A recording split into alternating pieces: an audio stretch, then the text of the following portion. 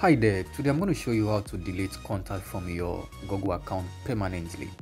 Before that, do well to visit my YouTube channel and then subscribe for more videos tutorials like this. I have a lot of videos for you, so go to my channel and do that. So let's jump into this. Now this can be done in two ways. First step is to use settings. So first go to settings. So from setting here, just locate Google. We're going to open Google from here. So just open Google and then from here just click on manage your google accounts. Just click on that. And then scroll until you see people and sharing. So when you click on that you're going to have access to your contacts. In my case i have about 2000 plus contacts. So what i'm going to do is to open that so when i open this it's going to give me access to all my contacts. So i have access to my contact. Remember you save this contact directly into your google account. So it's going to be very difficult to delete them directly on your phone. So now this is where i can delete my contact permanently. Remember when you delete this it's going to be there for 30 days. If you know if no action is taken then google will now go ahead and delete it. So now let's see how to do that.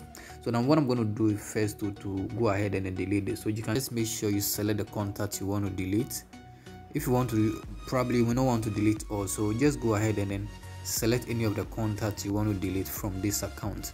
So i'm just going to select this one for instance.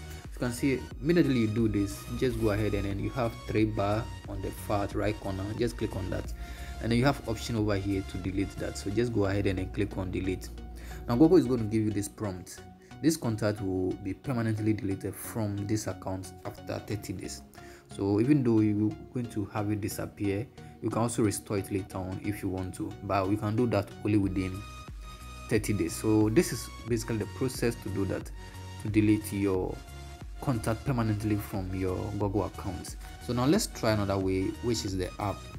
So you can do this also using the gmail app. Okay so if you have the gmail app just click on the three bar on the far left corner and then scroll down and then you see under google apps you see contacts. Just click on that and then it's going to give access to all your contacts remember you can also download the contacts which is a separate app from google. You can also use that.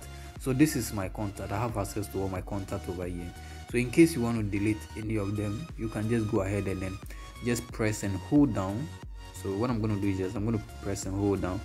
And immediately you do immediately you do that. You see the delete button or delete icon at the top. Just click on that and you can see this contact will be removed from all your sync devices. So anywhere you have this contact on your phone it's actually going to remove it. So just click on move to bin and that is it. You can also restore this within 30 days. If no action is taken within 30 days then google go ahead and remove it permanently from your device. Thank you so much for watching this video. Till i come your way again. Bye bye